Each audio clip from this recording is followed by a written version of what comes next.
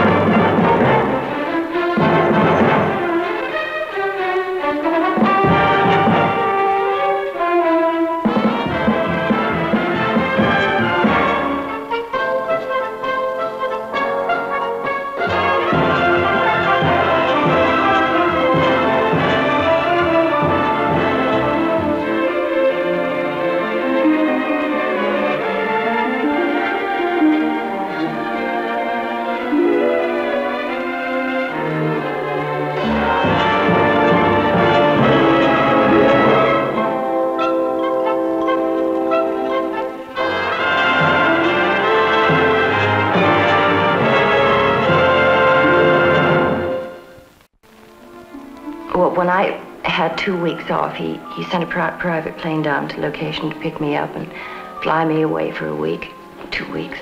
And, well, he was waiting at the airport at the bottom of the steps, and I was terribly nervous. After all, I'd, I'd hardly seen him, but we'd, we'd gotten to know each other so intimately and closely over the six weeks on the telephone, but I didn't know what my reaction would be when I saw him. And I was absolutely terrified. And then I opened the, not I, the stewardess opened the door, and I was the first one to get out, and I ran down the stairs of the plane, and he was waiting with his arms open. And I flew into his arms, and, well, it, it was like I'd been there always. Anyway, we became engaged then.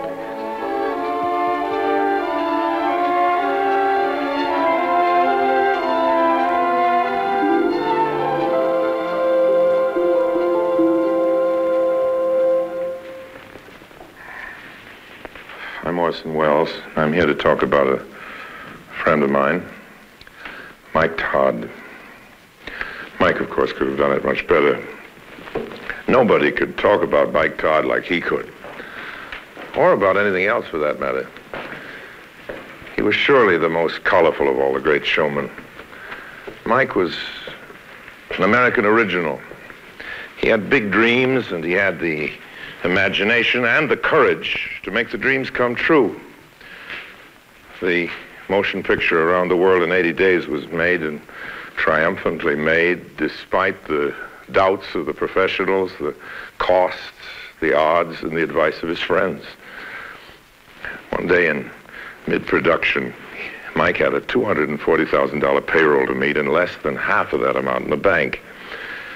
But life was good, and after a 10-year struggle, he figured he was holding another jackpot hand.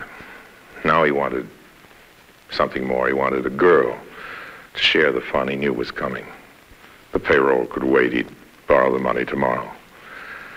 In the meantime, he did what any ordinary man in love would do. He went out and bought a little token of affection for the girl he decided to marry. When Mike bought me my engagement ring, I think he was almost as proud of it as I was. But he always used to make a joke about it, saying that it was um, 29 and 7 eighths carats because 30 would have been vulgar. I call it my ice skating ring. When Mike was a kid, carrots were something that were in a bin next to the beets in his father's general store in Bloomington, Minnesota. Avram Hirsch Goldbogen was the seventh of eight children in his family, but the first to be born in America. His father, a part-time rabbi, had a tough time making ends meet in the new world. But not young Avram. He was busy out in the streets. He worked in the Nickelodeon at the age of six for a street corner pitchman when he was seven. At eight, he put a lucrative twist on shining shoes. He grew like a weed through asphalt. And to his friends, and especially to his younger brother Dave, Avram was the golden boy of the Goldbogens. Todd's love and fondness for his mother was a wonderful thing to behold, and you really would have to be right there to understand the deep affection that he had for Ma when he came running into the house and yelled, Avrumele is here! Avrumele from the Gelt! Mamele, Mamele, this is Avrum! And uh, Mother immediately responded with, Oi, Montana Kint, my best son, Avrumele, Avrumele! Fats Slabitsky was a classmate. He can testify that for Mike, even school wasn't a completely unprofitable experience. You know, it seems like uh, it were only yesterday when Michael Todd came to our neighborhood in Chicago called the Wicker Park area. And Mike was a pretty sharp little kid even at those days. He decided to run the crap games in the schoolyard of the school called Wicker Park. Now, we had a knock uh, two fellas, or fight two fellas, uh, and matter of fact, they beat him to death, but they admired his, uh, his intestinal fortitude, so they let him run the games, and he became a partner with these guys. And I was to get 10 cents, I'll be honest with you, ladies and gentlemen, to be the lookout. For those that know the gangster jargon, I was to watch out for the cops. Incidentally, I never was paid, and if he were alive today, I believe that he owed me about $140,000 in interest. Todd, as Avram was nicknamed, left school when he was 12, having become the youngest apprentice pharmacist in the history of the state of Illinois. During Prohibition, he made a small fortune selling medicinal alcohol. He took a wife when he was barely 17, and still in his teens, he set up a promotional outfit that specialized in high-pressure closeout sales. When the talkies came in, he moved to California and built sound stages. As a contractor, Mike made and lost a million twice by the time he was 21. Having heard the words spoken on the sound stages, he became convinced he could write. This was when the crash of 29 left him without a construction business. So at the height of the Depression, he returned to Chicago and scratched a living writing jokes and sketches for radio and vaudeville. But it was the Chicago World's Fair of 32 where he made his first big score in show business with an act elegantly labeled The Moth and the Flame. This involved a lady wearing a transparent asbestos garment under the one you see.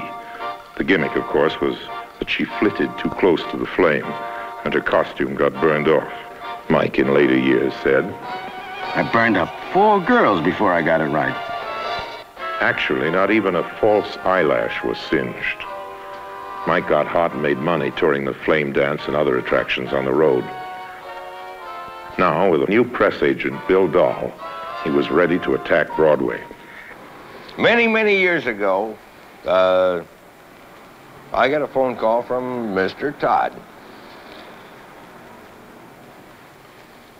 And he was about to do a, a musical that no one had any faith in called the, the Hot Mikado. No one had ever heard of me, Mike Todd, or the Hot Mikado.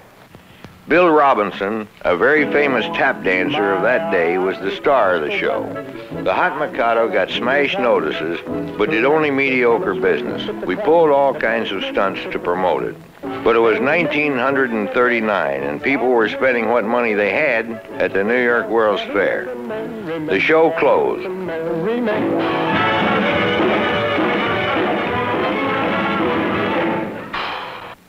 We held a wake on a rainy Saturday night in Mike's office.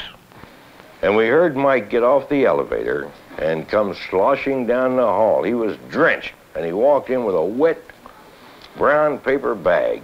He had been to the fair, and the fair had given him $10,000 to move the show. This is a, a utterly unbelievable thing for a show to get a reprieve after when they close they usually close you know and he came and he took this soggy bag and flipped it up in the air, and it was full of money.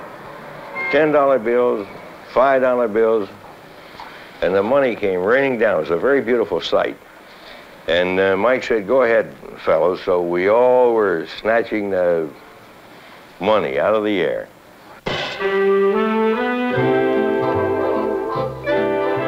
The show was a hit, and the fair asked Mike to take over other attractions of the amusement area. Mike changed merry old England with tabloid Shakespearean plays into the dancing campus with the world's biggest dance floor.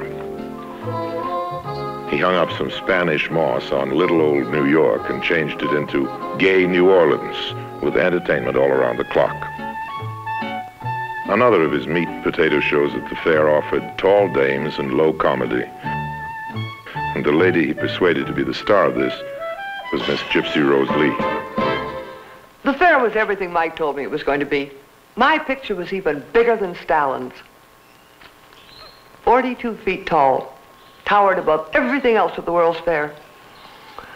That is until the night of the big storm. The picture was done in sections, four sections, and I buckled in the middle. oh, gosh. Mike was there, selling tickets, viewing his own show, standing out front, hooting and howling. Mike was the most exciting man I'd met in all my life. And when he offered me a job, boy, I grabbed it. There was just something about him that was vital and wonderful, and I was so proud and happy to be working for him. When the fair closed, instead of disposing of the scenery and the costumes, as most producers do. Mike saved every scrap of it. And he opened the biggest nightclub in the world in Chicago on the north side. The theater restaurant seated 2,500 people. Mike wrote all the ads himself. You can get a full course dinner for 75 cents and champagne cocktails for a quarter. All of this in Gypsy Rose Lee, too. Our customers used to arrive in a streetcar. The whole family. Man, his wife, the kids, everybody. I'd be out there doing the number and the kids were swinging back and forth on the railing. It was during that time that um, Mike had the idea of doing Star and Garter.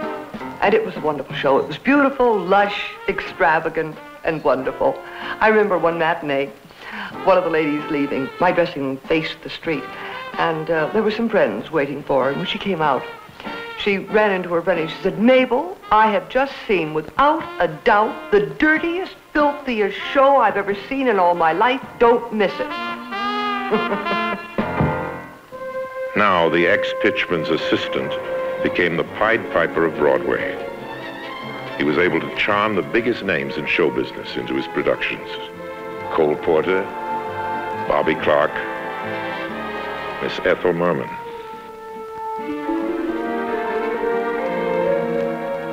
I've worked with a lot of producers, but none of them was as forceful as Mike Todd. He could pitch like a carny operator or make small talk with a king. But mainly, he had the great instinct for getting his ideas across. First to the talent, and then to the audience. With his first original book musical, Something for the Boys, he told Cole Porter how to write the songs. He even tried to tell me how to sing them. In 1944, he drew four aces, four hits on Broadway at the same time. The money was rolling in, and he bought four legitimate theaters and a five-story building for his private office. But being Mike, he didn't gamble just on shows. He was also spending a few fortunes improving the breed at the track. He had a whole stable of bookies following him all over town to pick up his action.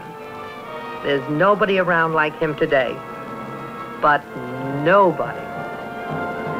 He was the biggest winner on Broadway. But now he was ready to move on. He'd already turned down any number of contract offers from the major studios in Hollywood, but when an independent production deal came along, it looked good. Especially as it would take him out of town and away from his wife.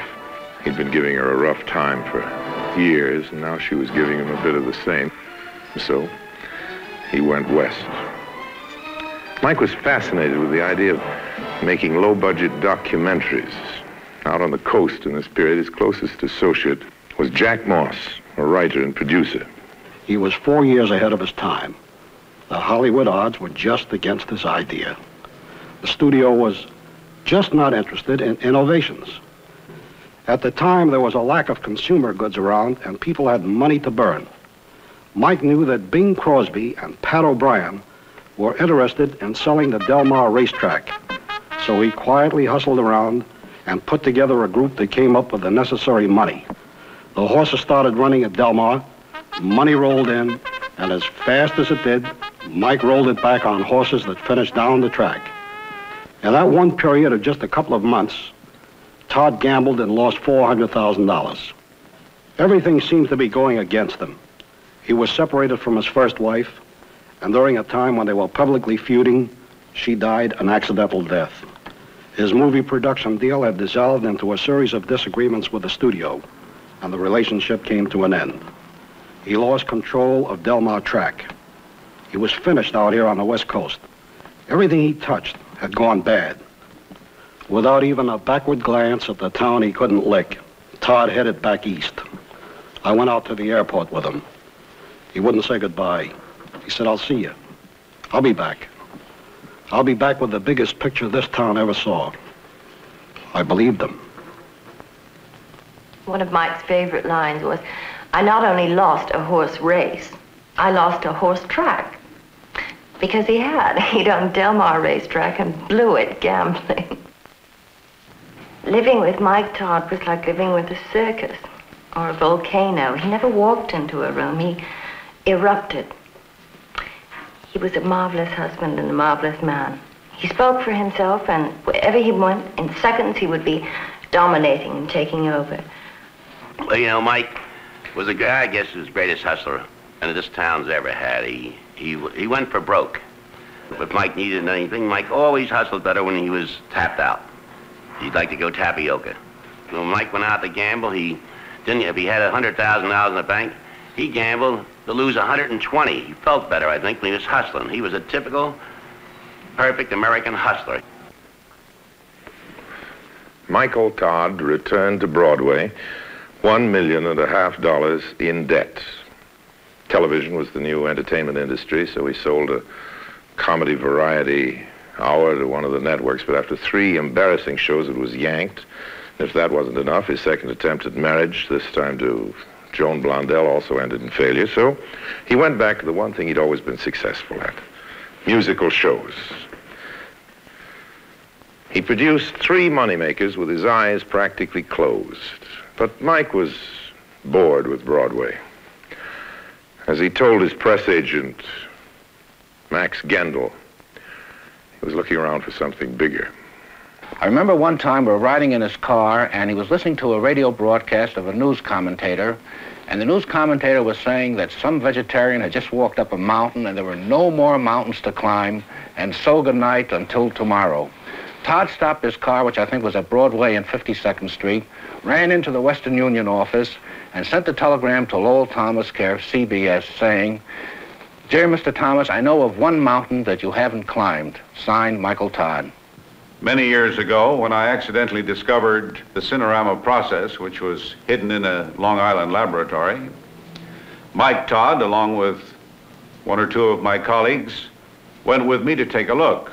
It was in a barn in Oyster Bay, and when Todd saw this, he became a, a, a different man. I remember he stopped the car three or four times on the Southern State Parkway called California. He's going to revolutionize the picture industry. He's going to take over the world. It's going to. It was just fantastic the way he reacted to uh, to the cinerama. There's no doubt but what Mike Todd was a man of unusual talents. For instance, he was a super salesman, and he was a brilliant promoter. And he also was a master charmer of men and women. Uh, Todd was not what you call an organization man, and he and I remember once that uh, there was some argument with the board of directors of uh, Cinerama, and he said, uh, "Listen, you guys are only putting up your money. I got my life riding on this." And in a way, he believed it, and he was right. Some people kind of hated Mike, but they didn't know him. I think they were afraid of him and jealous. If you didn't know the other Mike Todd, he could appear to be absolutely ruthless. Of course, he wasn't, but he had a wild temper.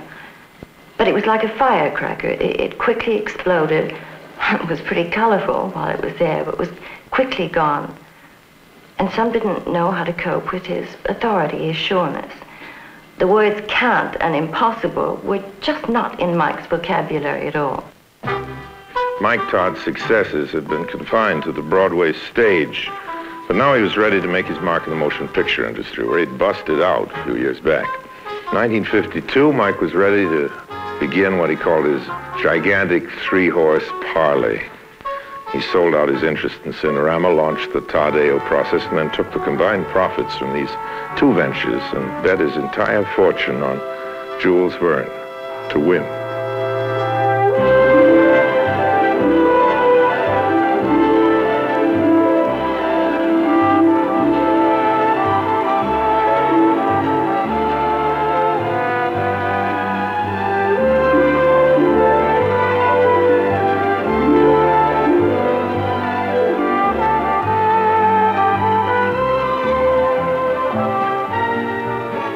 Time I started Around the World in 80 Days, I said I wanted to do a fairy tale for adults. I had a lot to do with this picture. It was my first, and it was a sort of a do-it-yourself job.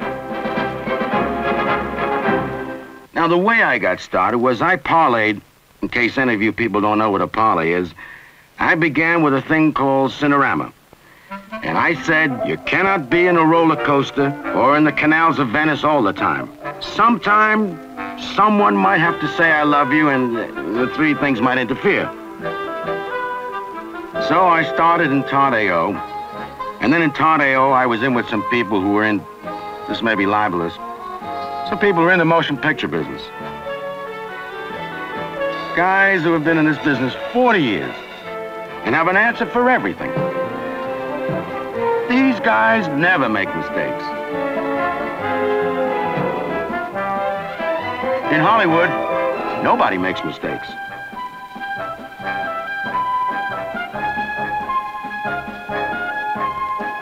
So I sold out of Todd AO and I parlayed into this. As a personal venture, and a personal gamble, I had more latitude than people have with boards of directors.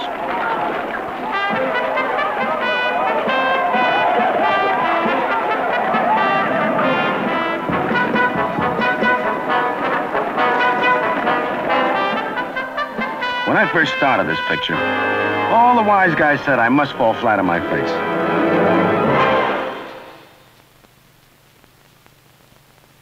According to the best brains of the industry, Mike Todd was bucking impossible odds, not unlike the film's hero, Phileas Fogg. Both Fogg and Todd were committing their entire fortunes to a long shot gamble. Open it up. You're going to need plenty of money. And whatever you do, never let this out of your sight. Well, you can trust me. I would cherish it like, like, like a woman. But don't make love to it, just watch it. Well, this here Phileas Fogg, I'm sure he's different. It takes a gallant, adventurous bloke to dash around the world like that. Oh, now, Mrs. Soppy.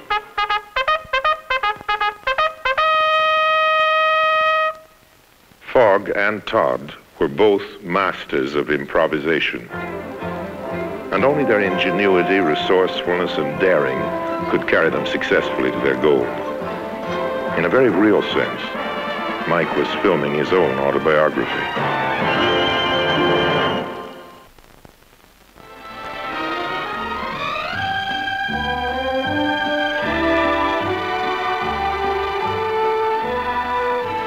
I had an idea. I thought I'd start a thing called Project Impossible. 50 or 60 stars, all in one picture. Now, I never got the people because they were stars. I got them because they were the best actors and fit the show. In England, I got Noel Coward. I knocked him off first.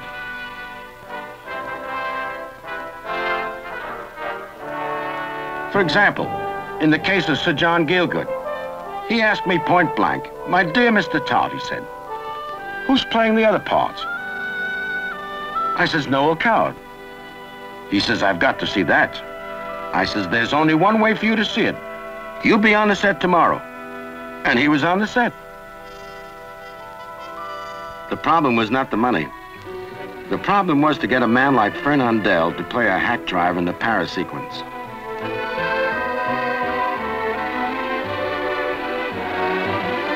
Charles Boyer, a travel agent. In Paris, we had to move the cars out, and the police were watching. If you ask a cop if you can spit in the street, he'll tell you no.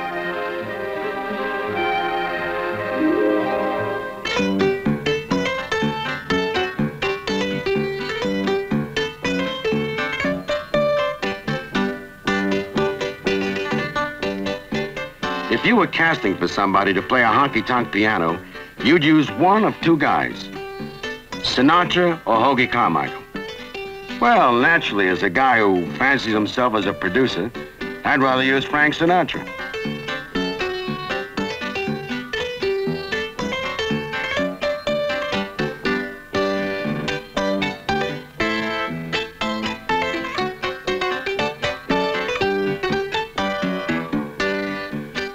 Wanted Marlene Dietrich very badly for the belle of the joint. So I went after her, and I said, look, I'm a gambler type fellow. I said, Marlene, I will shoot the scene and make no contract and let you see it.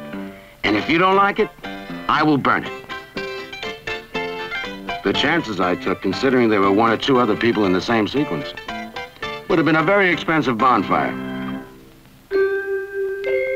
The leading players were hired in fairly conventional ways, but he used all kinds of methods to get the other stars.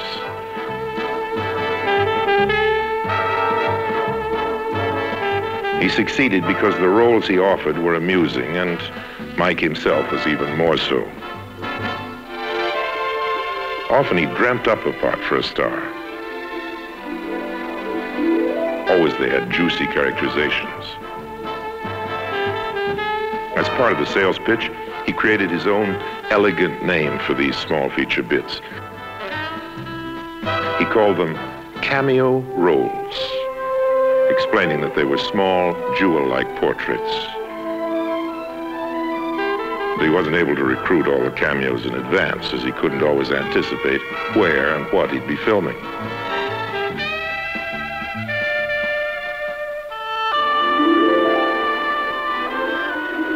Opportunists and made many departures from the written script. I've only had one rule in show business, and that is if it's entertainment, they seem to forgive you anything. I wanted to put this balloon sequence in, and I was told it wasn't authentic. As a matter of fact, the Jules Verne Society objected strenuously. Well, they wound up giving me a Jules Verne medal. I was criticized severely for putting Cantinflas, who was a Mexican, to play the part of Passepartout, which is a Frenchman. I am, in, in my opinion, one of the great egotists of show business, because I know that I can make mistakes, and I've proven it. Starting with my choice of a director. We started shooting in Spain. We started to shoot at 9 o'clock, and nothing happened. At 11 o'clock, I saw it was completely hopeless. And I saw that mistake. And so I asked this guy. I said, how does so-and-so and so get to so-and-so? And he took 12 or 20 or 30 minutes, and he explained it to me. This guy says, I've been making pictures for so-and-so and so-and-so and so years. And then he said the one thing that nobody should ever say to me. He said, why don't you do it yourself? I did.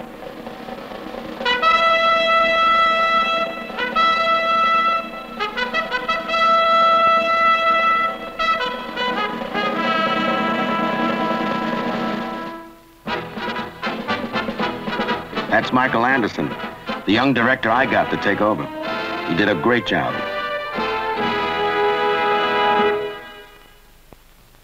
We shot in every country that we show in around the world. My friend, the King of Siam, loaned me the Royal Barge. He once wrote some songs for one of my cultural achievements. Peep Show.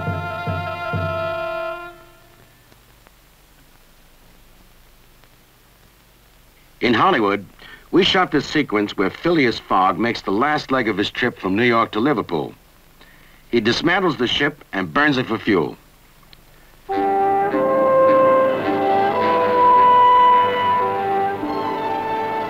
My best friend, a good director, was watching. And he said, what a beautiful miniature. Look at that smoke and so-and-so and so-and-so, and isn't it great? Well, it was all right, but it's late in the picture, and everything we do in the picture is really real. When I say late in the picture, just about the last real big production number before we wind up the story. This whole sequence. Now, I looked at it, I didn't like it, and it worried me. So I took a loss, and I decided to buy a boat. I made a side-wheeler out of it, and took it out in the ocean and dismantled it, and it's for real.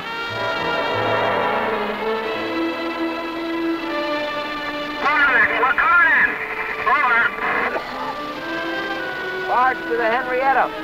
We're ready. Come right to it. Come full steam ahead. We're coming in whenever you say. Over. I gave you the word right now. Come on ahead. Is that clear? Very clear. Thank you. Very good. Barge to the Henrietta. That's it. Now keep going. Keep going. And make uh, and, and get out, get around in front of us. When you get in front of the cameras, swing all the way around. This is the uh, sharp turn. We want a lot of activity aloft.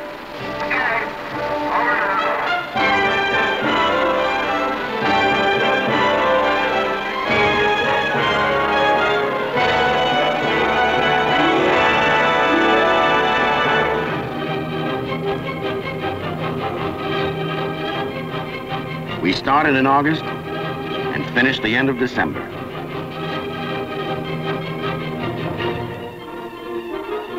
Then came little things like scoring and cutting and piecing together. But I looked at the prologue and it was phony.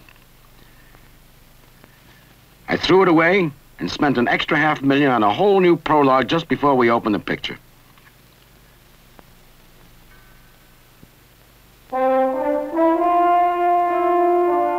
The money wasn't the important thing. I was shooting for the moon. The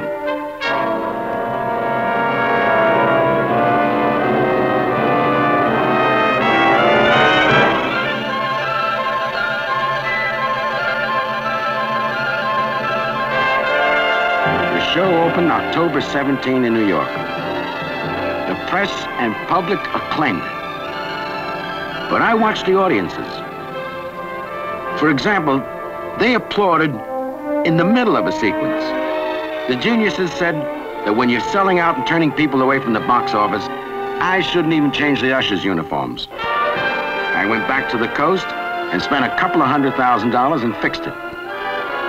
There's only one genius that I have ever recognized, and that's the unconscious geniuses, as I call them, the public.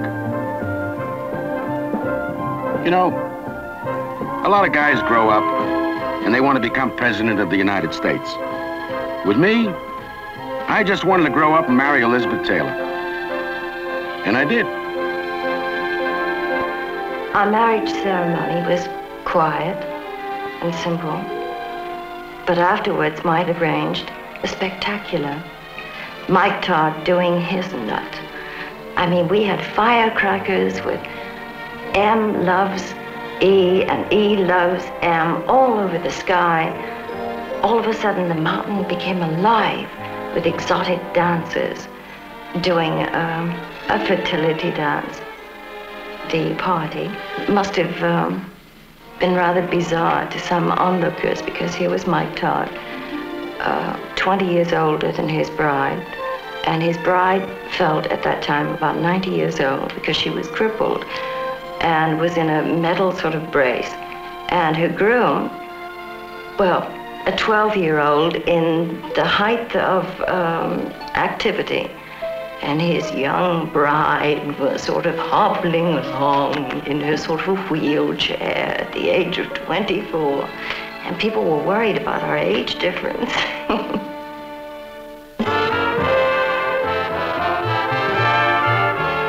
As some of you know, I'm married to a girl who's a few years my junior. As a matter of fact, she's a few years my junior's junior. We traveled all over the world together to promote Around the World in 80 Days. Of course, we couldn't have gone more first class, and we couldn't have had more of a ball. We arrived in Greece in our own plane, and we opened the film, went through all the kind of hoopla and the ceremony of the uh, premiere with the royalty, and it was terribly exciting and very glamorous. And then finally we lost everybody, and we came, became the typical tourist. And I took home movies of Mike, and he took home movies of me. I was hobbling around in the uh, Acropolis with one heel broken, and Mike was posing me up against goddesses. Then we went to the Greek islands, and we were riding around on donkeys. Well, we have the home movies of it. And they're like everybody else's home movies that are so bad you wouldn't believe them. I mean, you couldn't believe that the man who did Around the World in 80 Days and Cinerama had anything to do with these home movies. But I must say we had fun.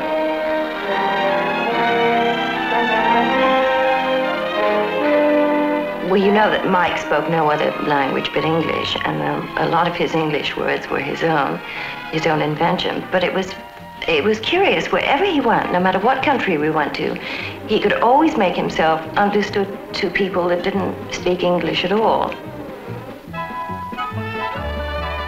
One of the things about Mike that uh, continually fascinated me was his insatiable sense of curiosity and his interest in things, people, everything.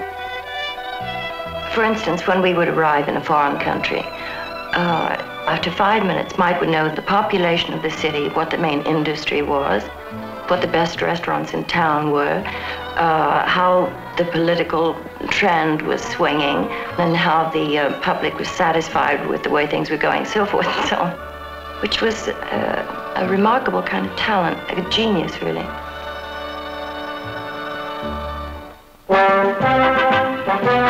These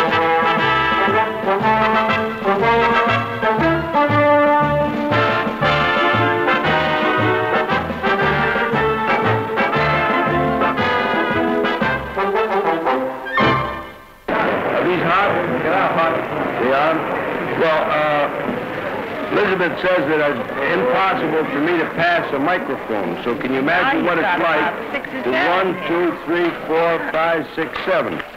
Uh, we're really overwhelmed. Speaking for both of us almost. I, I usually do.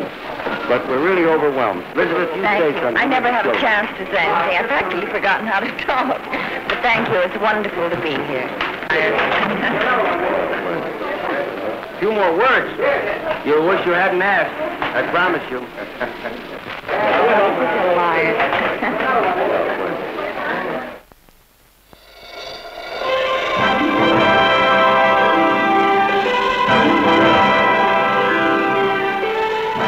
I think 80 Days received something like 70 or 80 awards from all over the world.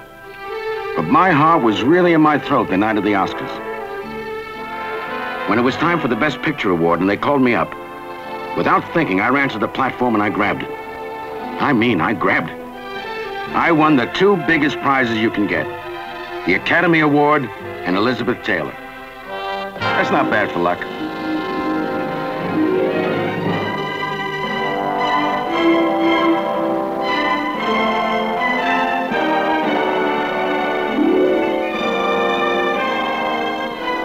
In England, we had a nice crowd for the opening.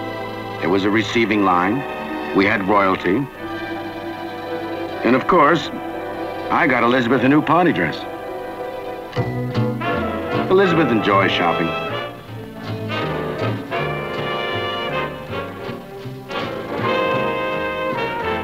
It was very extravagant of me, but my greatest pleasure is buying her a little bauble or a picture to hang on the wall. Mike always gave a party every time he had a screening of Around the World in 80 Days. I had opened a small Chinese restaurant in Paris, and Mike was trying to be a big guy, so he said, I'll give the party in your restaurant. It only holds 36 people, I warned him. That's all I'm going to invite, he said. So sure enough, the picture was over and 110 people showed up. And my Chinese manager didn't know what to do, so he decided to quit. I told him, stay, water the wonton soup, and cook every noodle you got. In the meantime, Mike got furious because there was no food on the table for his 110 guests who were standing all over the place and on the tables and everything. So Mike rushed up to an Italian restaurant a block away and bought 50 pizzas. And he came back and started handing out pizzas to everyone. Well, everybody finally got fed, at least I think they did. And they all disappeared. We, they drank all the champagne we had ordered from a nightclub up the street.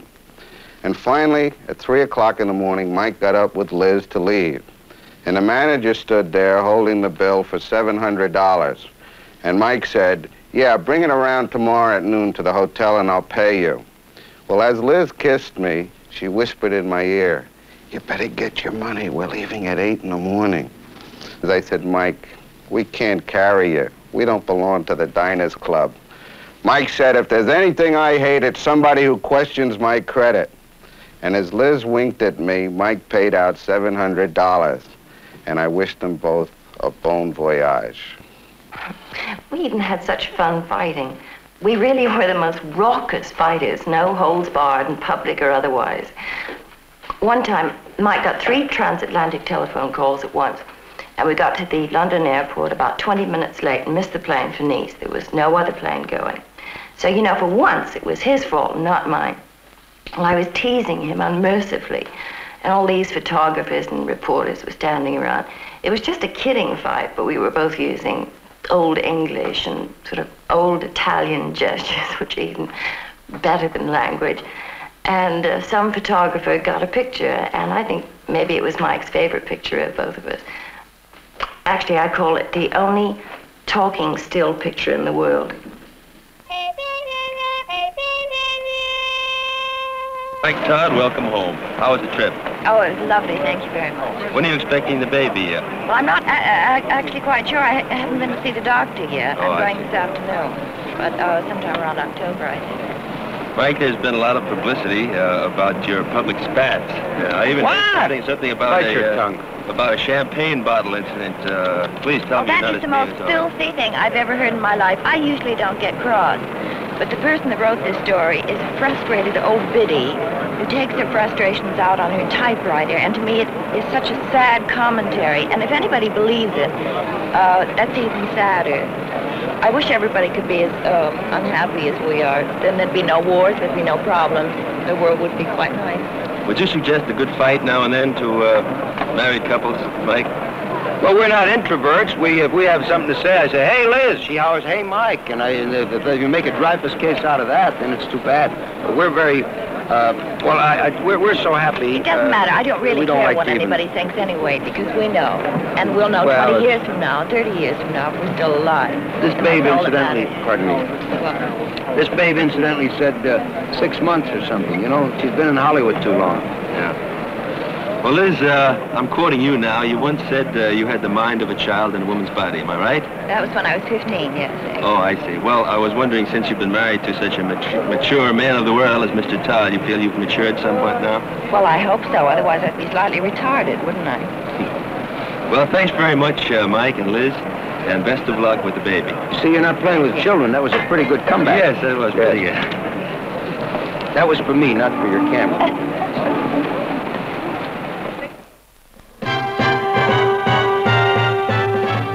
I decided to throw a little party. I invited only 18,000 of my very closest friends. It was the kind of a party where you have cold cuts and young people. Actually, it was quite a do. Not only did we have the 18,000 plus in the garden, but there must have been 35 million or so people that were watching at home on television.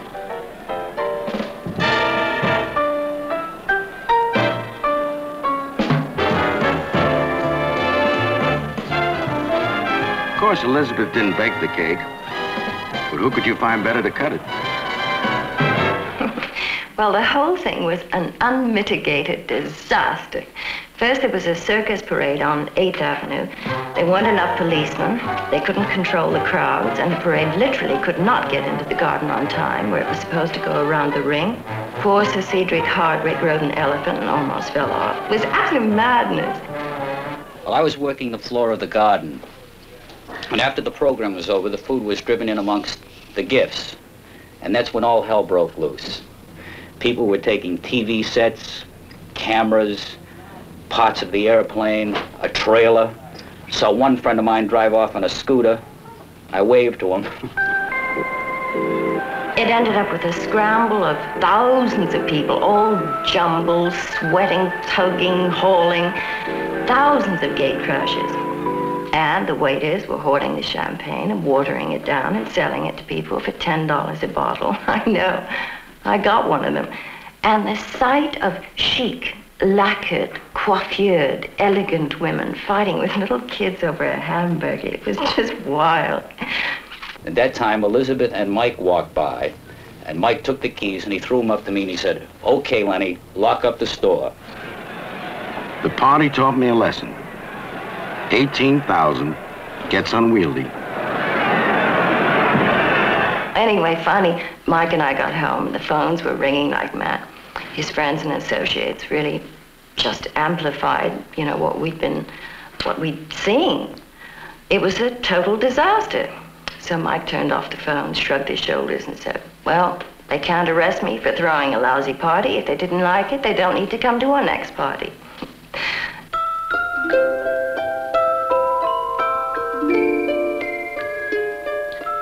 When Liza was born, she looked like, well, all premature babies, a bit like Methuselah. But to Mike, she was a total miracle. He is quite convinced that when he went to see her right after her birth, and she was in uh, an incubator, and really breathing for her life, well, evidently in some sort of gastric spasm, a little hand came up and, and made a sort of sign. And Mike was totally convinced and told everyone in the world that would listen to him that she was waving at him and that she looked him right full in the eyes and that she recognized him and waved to him. And from there on in, she, he said that she was the most brilliant child and certainly going to be the first female president of the United States and, uh, of course, the first Jewish president of the United States. Liza did and does so much resemble Mike. Of course, she was only six months old when Mike was killed. She has inherited all of his gestures, his mannerisms, his vitality, and it's scary at times, but beautiful.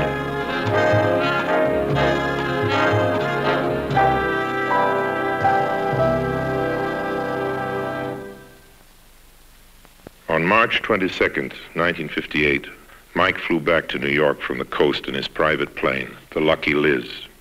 Elizabeth had a bad case of flu and didn't go with him. The plane was caught in a heavy storm over New Mexico and crashed. For five days, his death was headline news all over the world. Mike Todd died as he lived, spectacularly. His greatest legacy to me was the gift of love. Knowing not only how to give, but how to receive with love.